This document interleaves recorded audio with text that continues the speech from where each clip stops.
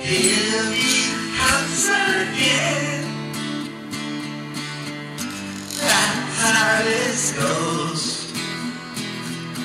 What you once. His loving host.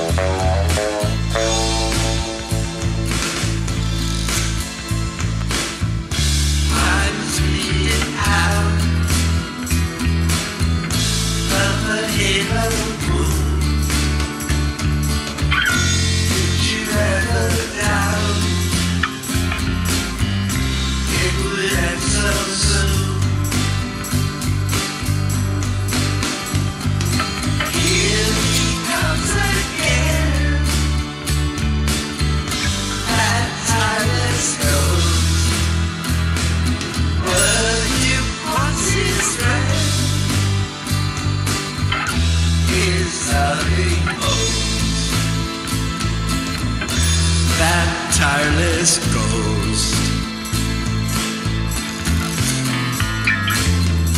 That tireless ghost.